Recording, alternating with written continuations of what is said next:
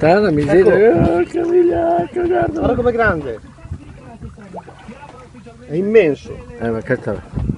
Professore, allora, eh, in questi giorni si parla qui nelle vostre acque di presenze di squali, insomma, ci sono eh, e perché ci sono soprattutto? Sì, no, gli squali innanzitutto sono dei componenti di quello che è la fauna marina normali e ci dovrebbero essere quasi sempre, solo che ce ne sono di tante specie di squali, per esempio squalo volpe, quello con quella coda arcuata molto lunga eccetera, è un abitatore normale perché praticamente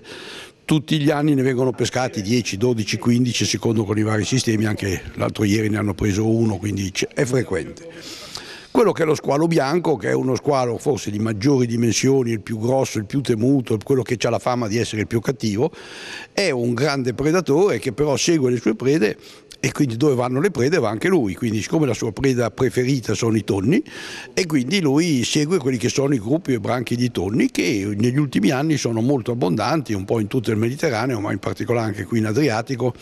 dove sono venuti a banchettare i tonni mangiandosi sgombri, suri, pesce azzurro, sardine, tutto quello che trovano. Quindi essendoci i tonni presenti in abbondanza è anche normale che il predatore dei tonni ci venga e si trovi a suo agio mangiandosi un tonno ogni tanto.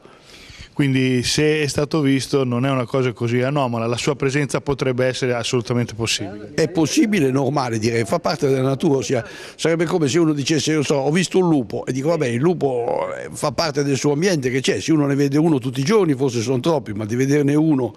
ogni tanto, soprattutto noi siamo una zona un po' marginale per questi pesci che vivono in acque più profonde, in acque in mare aperto eccetera